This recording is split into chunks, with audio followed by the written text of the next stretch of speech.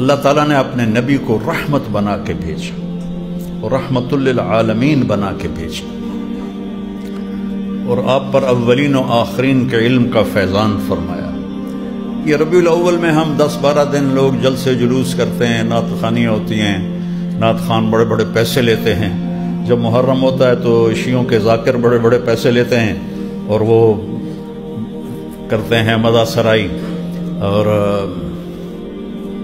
ربیع الاول آتا ہے تو ہمارے نعت خان بھاری بھاری رقمیں لیتے ہیں اور وہ نعتیں پڑھتے ہیں۔ بھلا، مجھے ایک شیعہ بھائی کا فون آیا۔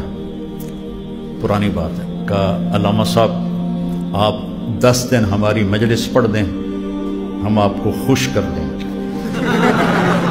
خوش کرنے کا مطلب پتہ ہے نا؟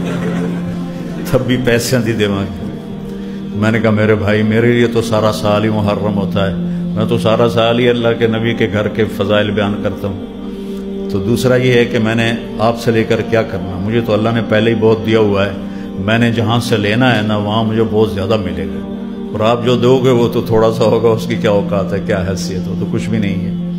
اس کی تو کوئی حیثیت نہیں ہے۔ تو وہ اللہ تعالیٰ نے آپ کے گھرانے کو کہا کہ ازوا جو ہو امہات ہوں یہ آپ کی مائیں ہیں۔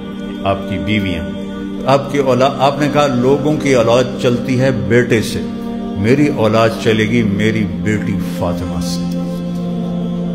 دادا ہوتا ہے نا نسل میں، لیکن آپ نے حضرت فاطمہ کی اولاد کو کہا میری اولاد۔ ہے اور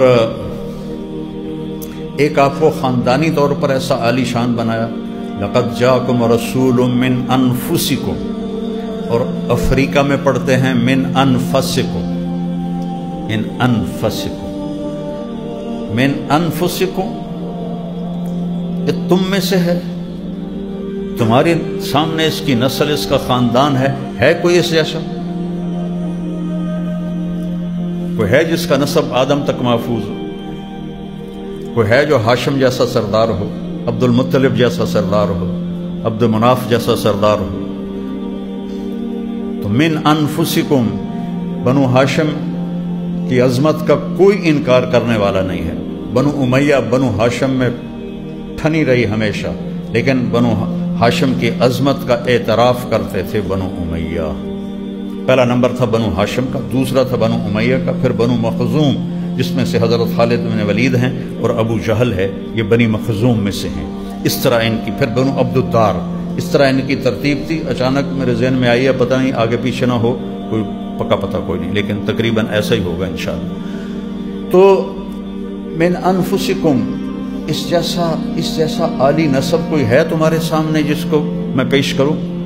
کہ جو چلتا ہے تو محمد بن عبداللہ بن عبد المطلب بن ہاشم بن عبد مناف بن قسی بن کلاب بن مرہ بن کعب بن لوئی بن غالب بن فہر بن مالک بن نظر بن کنانہ بن خزیمہ بن مدرکہ بن الیاس بن مدر بن عدنان بن اود بن حمیسہ بن سلامان بن عوس بن بوز بن قموال بن عبی بن عوام بن ناشد بن حضا بن بلداس بن یدلاف بن طابق بن جاہم بن ناحش بن ماخی بن عیفی بن عبقر بن عبید بن الدعا بن حمدان بن سمبر بن یثربی بن یحزن بن یلہن بن ارعوا بن عیدی بن زیشان بن عیسر بن اقناد بن ایہام بن مقصر بن ناحز بن زار بن سمی بن مزی بن عوض بن عرام بن قیدار بن اسماعیل بن ابراہیم بن آدر بن ناحور بن سرود بن رعو بن فائج بن عابر بن ارفقشاد بن سام بن نوح بن لامک بن متوشال بن ادریس بن یرد بن ملحل ایل بن, بن قینان بن آنوش بن شیس و بن آدم علیہ السلام